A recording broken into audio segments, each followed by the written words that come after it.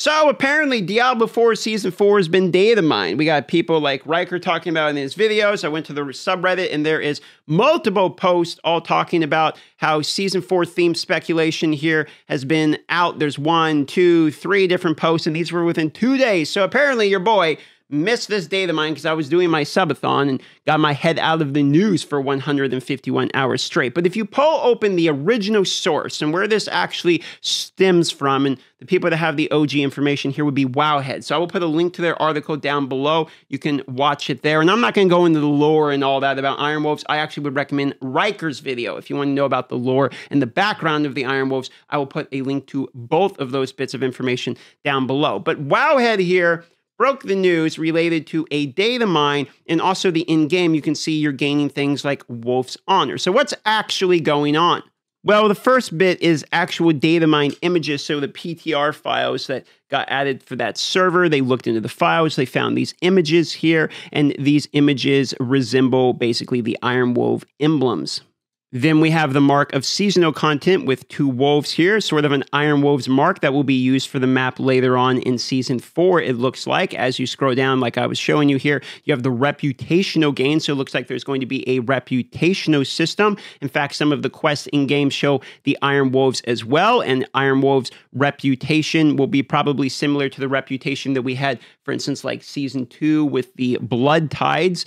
As you continue here, data Mind, reputational rewards, and now we have a whole bunch of images of Iron Wolf, Iron Wolf, Iron Wolf, Iron Wolf, Iron Wolf. So it seems pretty clear if you look at this. Season four theme is going to be the season of the Iron Wolf. There is a significant amount. In fact, if we look at some of the other stuff that they've the mind here, look at all these gains. These are all items that you actually end up gaining from different quests, seasonal reputations, etc. You can see they always say Iron Wolves, etc. It contains a weapon created by the Iron Wolves for culling the Helltide, backup equipment, we're saving for emergencies, secret weapons. So these are all Iron Wolf related rewards. Now, they continue by talking a little bit about the lore and where it comes from. I'm actually not going to bother going into this. I think Rhykker did a much better job in his video. So I would recommend if you're interested in the war, go watch Rhykker's video about the lore itself related to who the Iron Wolves are, where they came from, where they've first been seen.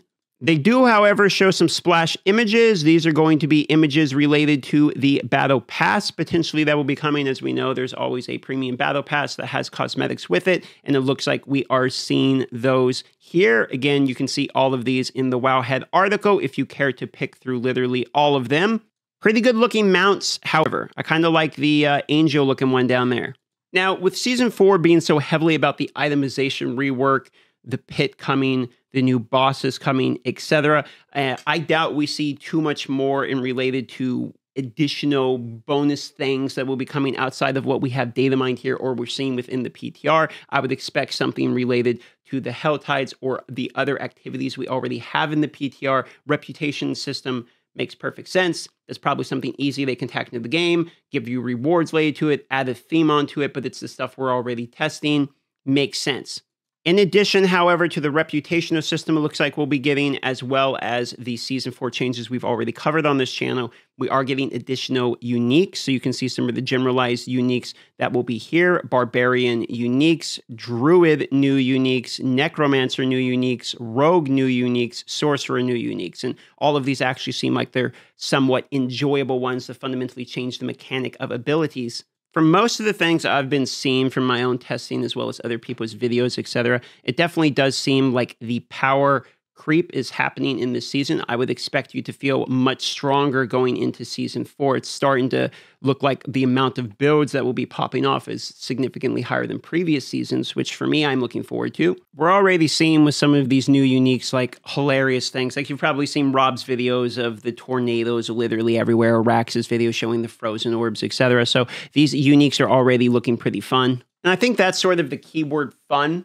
all the Diablo 4 really has to do is have a good couple weeks of fun at the start of each one of the season launches. I want to bring up a point here. I'm very consistently seeing people that are just like picking a side, like it's a political campaign or a religion or something, where it's either Diablo 4 is only good and it's just everyone else is a hater and all criticism isn't fair and the game is great and it's the best ARPG, or there's the people that are like Diablo 4 is absolute hogwash, like Blizzard North is no longer there, give up on the game, stop talking about the game, let it die, it's complete garbage. And and no matter what, you're not allowed to like look at the patch and be like, I like this about it. I don't like this about it. Like the nuance of conversation is pretty lost. But I think the reality of it is that all Diablo really has to do is not become the greatest game ever. It has to get into the cycle of games. It has to be one of the games that people want to cycle between between Path of Exile League launches, the last Epoch season launches, and or the cycle launches and then Diablo 4 season launches. They just have to fulfill the role of being one of these ARPGs that has a good couple to a few weeks of entertainment value, and that's all you really need out of it. I would just recommend not getting emotionally invested in any ARPG because we also saw this with Path of Exile launch. Like the the launch of the Path of Exile Necropolis League was really bad, in my opinion. I actually quite didn't like it. I thought it was like mid at best. But then within just a little while, they fixed it. But if you get so invested in, okay, Path of Exile is so bad, and you like go into this spiral, then when it's fixed and actually enjoyable, which it is now, you, you miss out on that fun. And this could be said for any of the games. I don't think you should stick to only one ARPG. You shouldn't be a loyalist to games in general. It doesn't make sense. You should be a loyalist to your own enjoyability. I wouldn't even bother like with this point or addressing these types of arguments I see everywhere in like Twitch and Reddit and comments at all. But I feel like there's a lot of people that maybe just see the constant like yelling between the people that are either defending a game doesn't even have to be Diablo or the people that are like saying the game is bad and just that in its of itself the conversation discourages them. So if you're one of these people take it from me. I know this from experience. I have got way too emotionally involved in games before and i promise you that it is not a good way to play games. It, it makes the games unenjoyable for you when you really are committed to caring about the future of the game it can take away from your own enjoyment for what it actually is so for now what i do is i just play a game till i get bored then I go play the other game that I think sounds fun. And that would be, in my opinion, my recommended way of doing it and not get involved in like the balance and all these other things. Just look into it, have fun with it while you can, then go play the other game that seems fun. It seems like a really simple philosophy, but honestly, it's one that not everyone actually follows these days.